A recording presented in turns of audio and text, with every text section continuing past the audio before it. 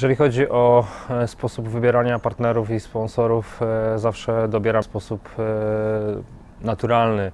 Nie może to być wy- wymuszona współpraca, musi coś jak gdyby zaiskrzyć, a tak było właśnie w momencie, kiedy zdecydowałem się na e, współpracę właśnie za ISKO. E, Wiąże się to z moją pasją, z, moją, z moim drugim zawodem, e, którym jest praca w Państwowej Straży Pożarnej. Na co dzień stykam się z bezpieczeństwem, z zabezpieczeniami pożarowymi. Ważne jest dla mnie to, że świadczą usługi na najwyższym poziomie i ja jako mistrz olimpijski e, wybieram partnerów e, najlepszych, którzy reprezentują najwyższy poziom.